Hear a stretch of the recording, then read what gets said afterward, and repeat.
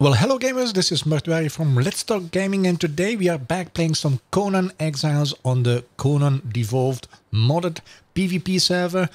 And yeah, things have happened. A lot of things has, have happened. We've been preparing for PvP, which is happening uh, as we speak. Well, the PvP is turned on. I'm not quite sure if anyone is on, but uh, we will be heading out and doing some stuff. Maybe grab a few thralls. We will see what we can do.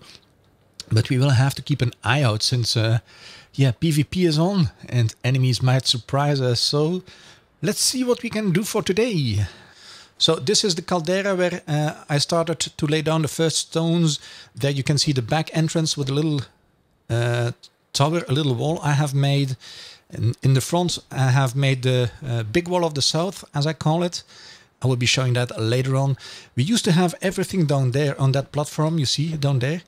Uh, we used to have all our production up there, and yeah, it was nice. It was very nice. But Wild Jester started to build up, and it's really amazing. Uh, I logged on today. Couldn't log on yesterday due to mod missed matches, so I, I uh, had to miss all the fun yesterday.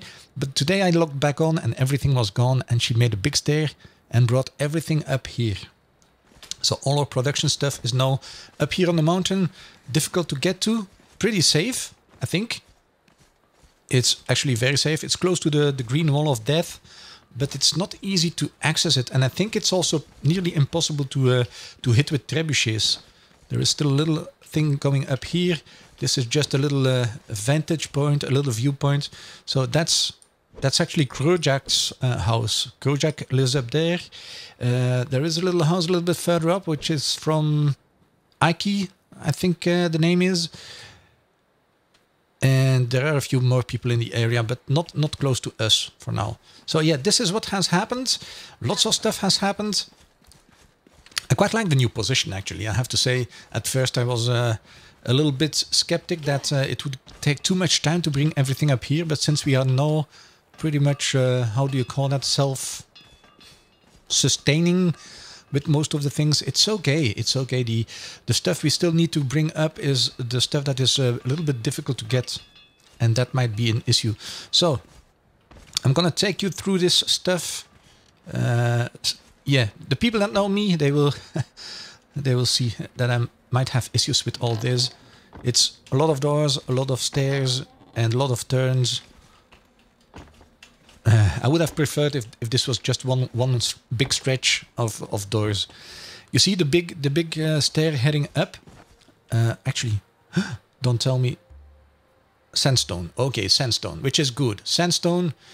That means if they try to uh, put up some uh, some bombs here to get in, they will destroy the sandstone stuff, and yeah, it will be impossible to get back up top. We will have to place more foundations around, I think, otherwise people will be able to uh, build inside the caldera as well.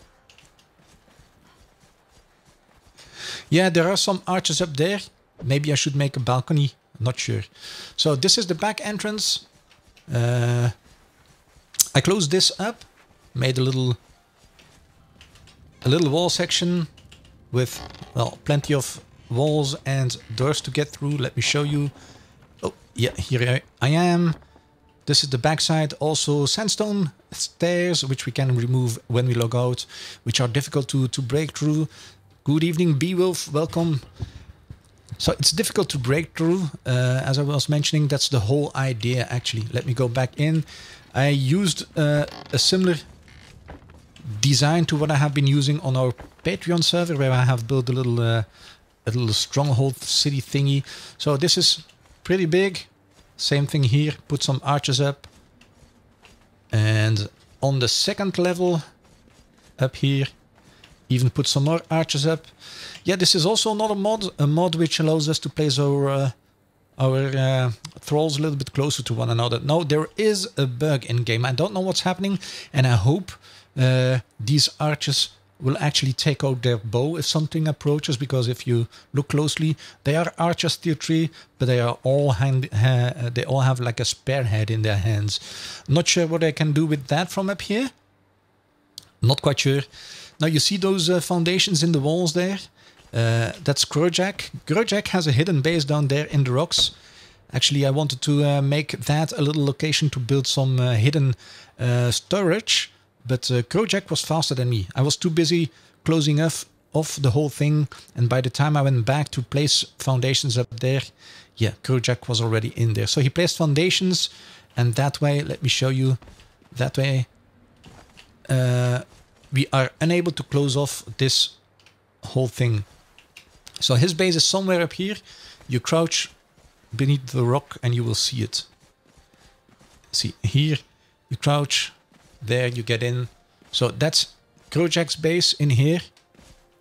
There is no way for us to get in. These are all pretty much walled up. And I'm kind of afraid to, to fall through the word actually, but he built inside the rock.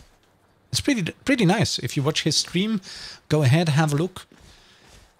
It's pretty nicely done. So he did put up some foundations up here uh, in order for us not to be able to close up this whole thing. Because that would have been a, a nice idea. It was an idea I had in mind actually, close up this uh, area here, but then Kojak is unable to get to his base, and he started putting up some uh, some uh, foundations everywhere in order for us not to uh, be able to close that gap. Will you make a defense trebuchet? Yeah, I might be making uh, uh, trebuchets for defense. The only problem is with trebuchets, it's it's it's not a, not an uh, how should I call it a weapon for defense. It's, it's a weapon for offense.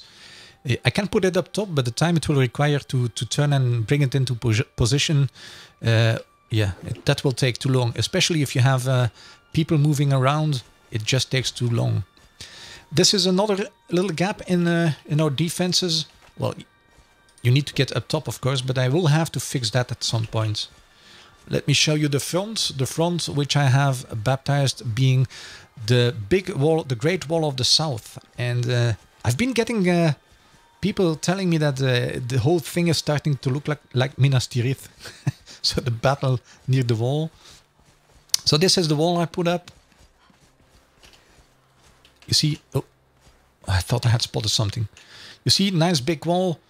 Uh, it will be nearly impossible to get over that and get in is tough as well. Same thing here, lots of doors. Well, in this case, only three doors because we are th still thinking of, of making it a little bit bigger than that. The base is honeycombed. Yeah, look. Well, Helm's Deep. Yeah, Nib, Helm's Deep. You, you, I'm, I said it incorrectly. Helm's Deep. Yeah. Uh, it is honeycombed. So the honeycombing is, is a, a thing which we used. Uh, I watched a video online and actually Klaas who visits our stream for every now and then, my streams, he comes on uh, uh, quite often. He mentioned that I should try this, put up a foundation, a fence foundation, put up a square of fence foundations, put in uh, pillars in between, and reinforce that with a cross of uh, foundations, fence foundations. And apparently, uh, if they place a bomb, it will destroy, well, it will damage this for sure. The splash damage or the collateral damage might also damage these, but it will not damage the pillars, apparently, because that's not well, it's not part of the same structure, it's a separate structure. I will have to test that out in single player, but some people have already done that, and they said it works. So if they play, place bombs, they will be able to destroy probably these foundations, but then they still have to to work their way through a few layers of pillars to go through. We were unable to place pillars everywhere, which means there are some gaps in here, and those are dangerous. Dangerous like hell. You can fall in there. You can fall in there. I've already had it happen a few times while I was building, and at that time it's pretty easy. You just remove whatever you built. But now that we have the big wall of pain, uh, the big wall of pain, the the Great Wall of the South, it, it built. It, it's nearly impossible to to to work your way out. You would have to destroy half of the whole thing.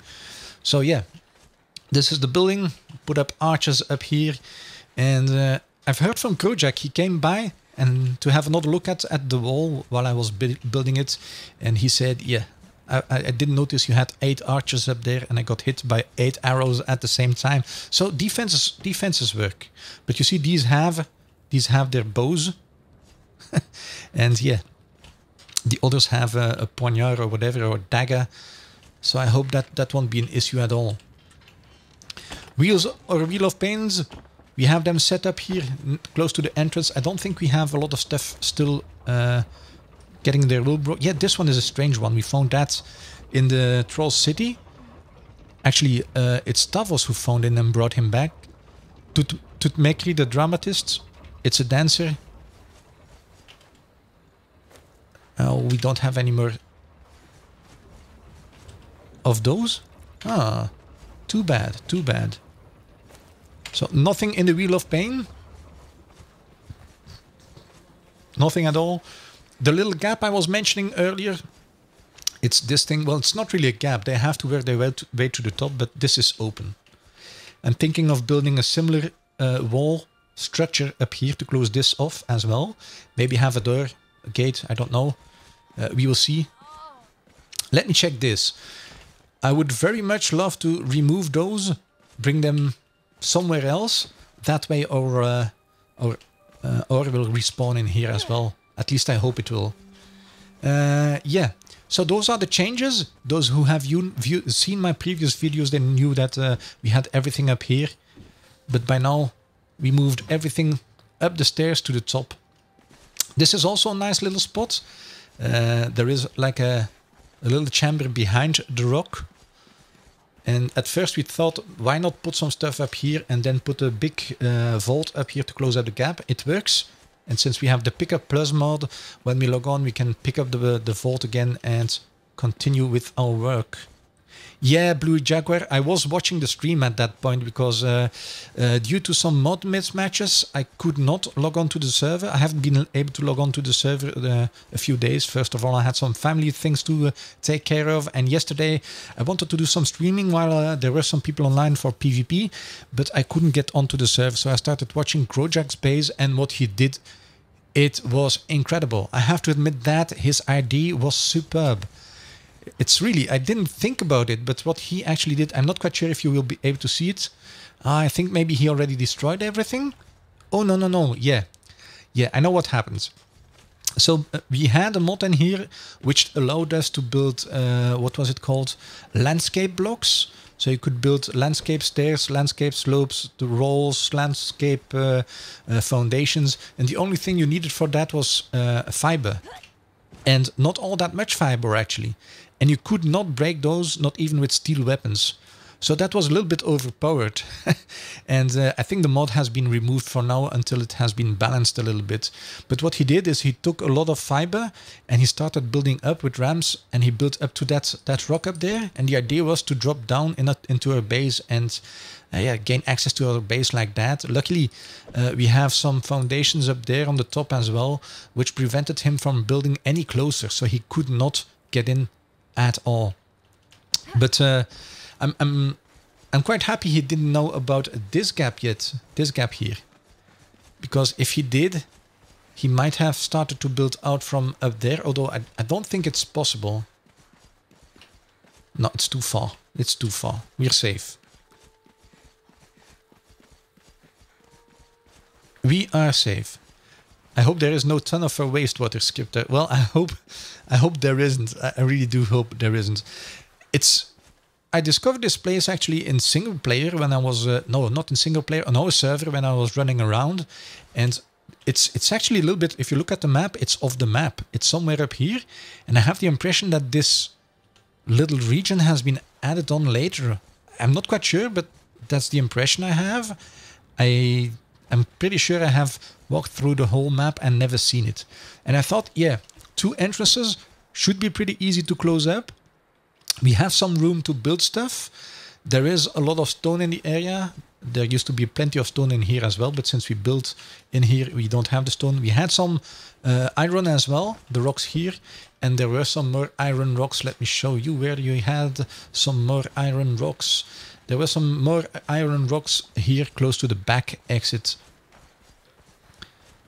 Here, uh, yeah, of course I have to work through this as well. This is also honeycombed, as you can see. Great tip from Klaas. We did it. I hope it will work. There were rocks up there with, with iron as well and plenty of other rocks with stone in here. So we had that. Fiber we had as well in our base. We have a lot of fiber actually in the base. Uh, there were plenty of plants up here. You see? So that's no problem. What else did we have? The only things we had to go out for was coal and wood. And wood can be uh, found just outside of base. So that wasn't a really, a really big issue. So it's a nice spot. It was easy to defend. And that's why I chose it actually. let me get up top here so we have a little view on the base. Yeah, that's what we did. We put foundations. Well, yesterday uh, on no Friday, I started putting up foundations in in all corners of this caldera, but from the outside, and that way people are not able to build up here. Oh, I hate this. Yeah, the people who play with me on on Conan and on Ark, they know that uh, this is something I hate. I hate this very much. Not only is it a, a very icky well, staircase, it, it has a lot of turns. And additionally, for me, there is no security. There is no security, and you all know me. Sometimes I jump and I do silly things, and I and I drop down. I already fell down a few times, and that can actually get you killed. I kind of wish I could build up there. I think I was able to place a stair up here. Yes. Yep. Like this and this gives you a good view on the caldera. So this is where I started building, where we had our, uh, our base a few days ago. This is actually the whole place we have. But as you can see, there is also some nice spots on top of the rocks, which we might be using actually. And by now, everything uh, production-wise has been moved to the spot up there. You see, all our production stuff has been moved up there. Uh, while Jester uh, has been doing that, I think she probably recorded some of it yesterday. She was uh, doing some stuff to Krojak's base as well. She was trying to raid him. Look, we have a big stair going up. And all our production and our valuable materials are now up there. You see Jester running up there. So if people break through, they only have reached part of our things. But I think, personally, personally, I think we should put up some stuff in there. Some we, we should put up a big vault there, or, or I don't know, some boxes, something. We should put something down there uh, to give people that get in to somehow give them a reward. Because I think if you see this, it will be very hard to break through the uh, Great Wall of the South. It will be tough to break through this one. And once you have done so, you still haven't reached anything. You you would still have to work your way up and break through that, which will be nearly impossible because if you start using uh, using the bombs, then the whole staircase will fall down. Uh, maybe if they destroy all the foundations we have everywhere, they will be able to start building once they have destroyed everything down there. But I don't know. I think maybe we should put some some incentive to raiders down there. After all, it's a PvP server. We want some PvP action. We do really want some. Uh, at least I do. I, I won't say I will be I will be happy that 700 time I get killed, but I definitely would love to see some PvP action happening. Question is, can I not get back up there? I should be able to. Yes. So yeah, uh, and, and, I think, ooh, nice rock formation up there. Oh, that's not ours. That's Krojak's side. Oh, look, that would be nice too. Look, there is a gap in there. I think Krojak has a, an exit uh, on, at, on the top as well. He can get out through the top of his base. Yeah, what was I talking about? Oh yeah, PvP. PvP is now on until uh, tomorrow morning, 6, six o'clock for me, which is uh, midnight for our American friends. And yeah, we actually would very much love to do some, some PvP. Uh, and I think if we make it our base really unraidable, people might skip raiding us. And that's not really what we want. Yeah, more defenses. Sure, more defenses, but still.